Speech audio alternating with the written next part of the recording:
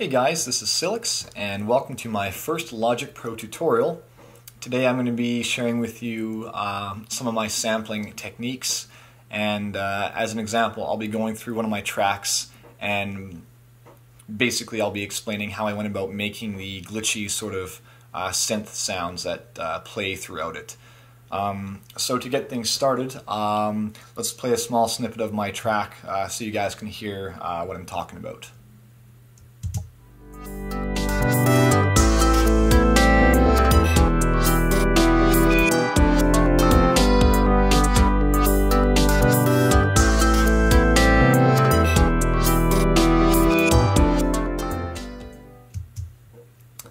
All right, so to get things started here, um, let's go down. Um, so the first thing I started with here is I just made a few uh, synth tracks and just recorded the melody that was kind of playing in, in my head. Um, so I started off with one here. Uh, let's just go ahead and play this.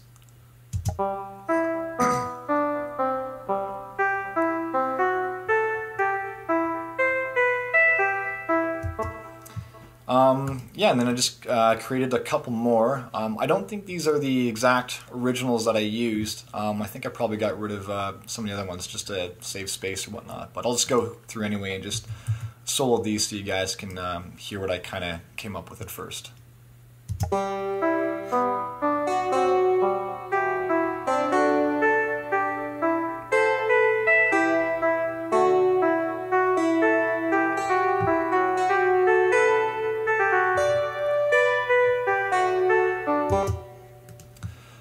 Okay, so the next step I did, uh, once I was happy with the sort of uh, synths that that we're playing, um, I made sure that I soloed the tracks, just making sure this one's off here. Uh, yeah, so I soloed the um, tracks here, highlighted the regions, and I right-clicked and I went to Bounce in Place. And uh, what that's going to do is it's going to create a new audio file with the sounds from all those three synths playing. So I'll just go through and unsolo these and um, eventually, um, I ended up with something that sounded like this.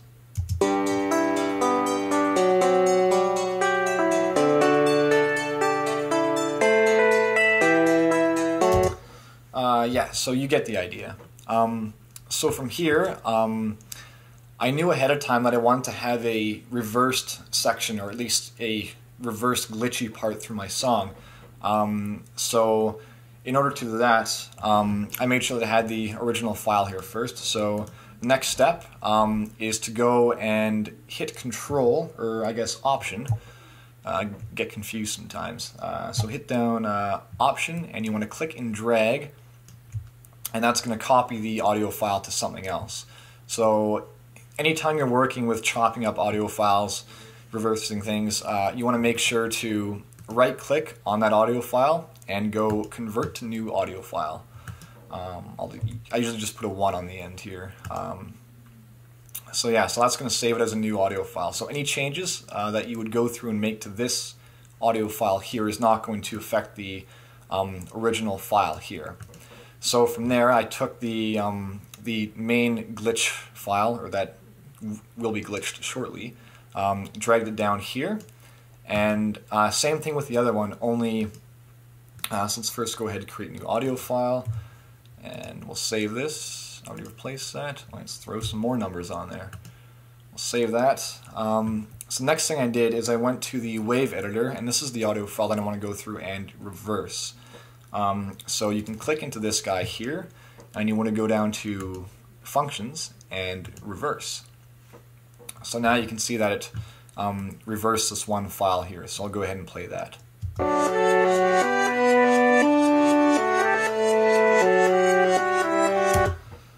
I love reversed audio. I just think it sounds so cool. So, um, right. So I took this guy here, dragged him down here, and that's kind of how things happen. So I'll just get rid of these guys for now. Uh, so let's zoom in here. And um, so the next step to go about glitching things out here, and um, I guess in a sense, is you can see that I cut everything up um, really finely here. And this is the main um, track that I was sort of working with. So the first thing I did with the original file is if you go hit escape and 5, that will bring you this little chopping tool here.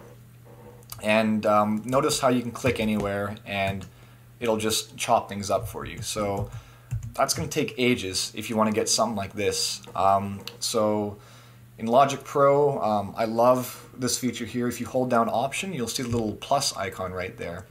And uh, just zoom in a little bit more here uh, so we can get the lines. Um, is if you hold down Option, you'll get the plus icon, and if you click, it'll create equal audio regions uh, for the whole file. And you can just go through and um, mute certain parts that you don't want to have, um, which is pretty much what I did for this. I just went through and just started to mute things and eventually ended up with a rhythm for the melody that I liked. Um, so that was kind of the first step. Um, yeah, so I did the same thing. This is the reverse file here. So I did the same thing here.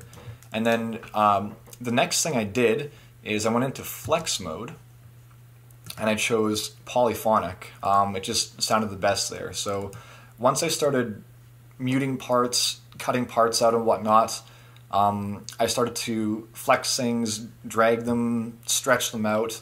Um, I also went as far as to, let's just get out flex mode for one moment here. Um, there's a few audio files in here that, I don't know which ones they are now, but um, I went through and I um, opened up the um, wave editor again. I went to factory and I went to the time and pitch machine right here.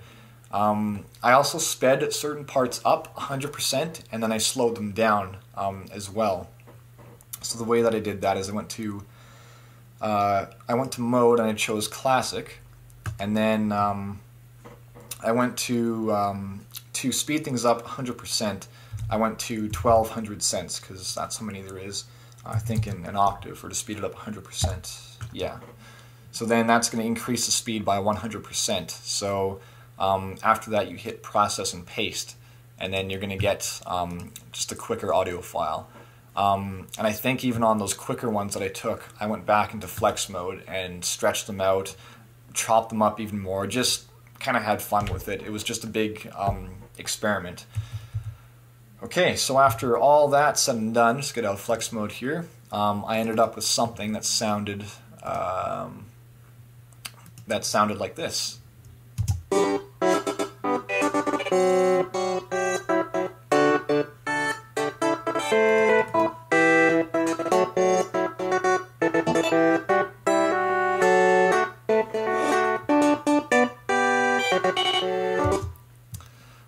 So um, take your time with this, guys, because this probably took me three to four hours to get a glitchy little part that I was happy with. I mean, really, really zooming in and getting really small snippets, um, throwing parts of the reverse part in, you know, just moving things around and just having fun pretty much. Just experiment, go wild, and eventually, if you take your time with it, um, you'll get something that sounds pretty good.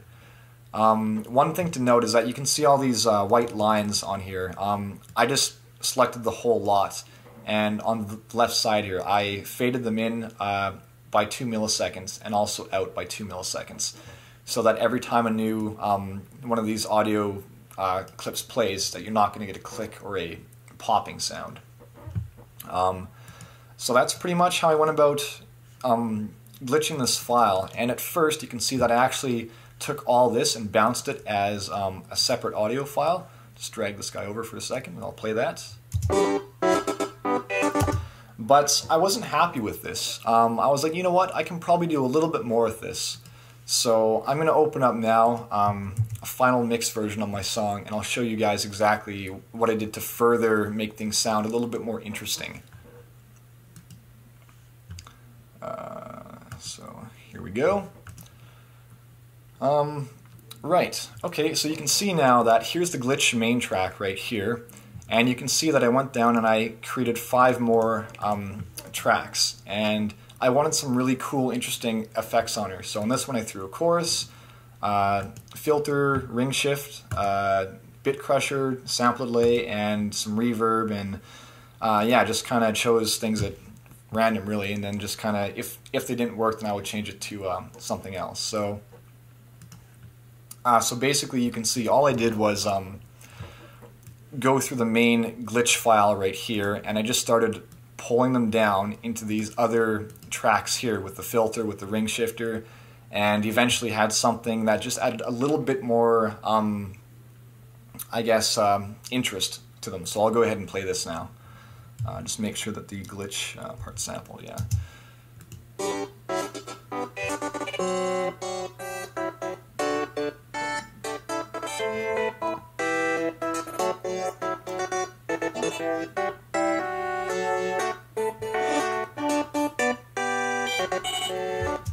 So, I mean, it sounds pretty much the same, but it's really, really subtle because you're only hearing these effects on really small, small parts. But in this case, subtlety was the key to just making it a little more interesting. And you can apply this to pretty much everything, whether it's layering different drum samples and having different effects in certain tracks, or maybe on a lead synth part, you break up uh, some of your notes and put them on different tracks with different effects. So, you know, just use your imagination and have fun. Anyway, last thing to note is that I took all these um, tracks here and I sent them to bus 5, which is called the glitch bus down here. I threw a compressor and uh, did some EQ work on this as well, just to kind of gel all the sounds together, make them sound like they're all nice and happy at home kind of thing. So, um, yeah, that's pretty much how I went about um, sampling here. I'll just go ahead and uh, play um, a snippet from the final part here so you guys can uh, just see how everything sounds like.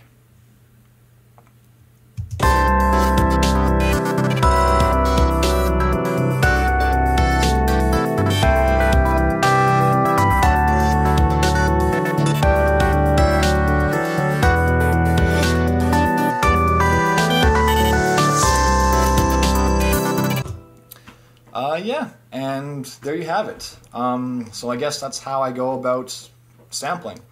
So I hope this video was helpful and that you learned a thing or two in the process. Um, if you guys would like to subscribe, uh, I'd love the support and it would mean a lot to me. Um, also, I do plan on doing more tutorials in the future, uh, so keep an eye out for those as well. Alright guys, thanks for watching.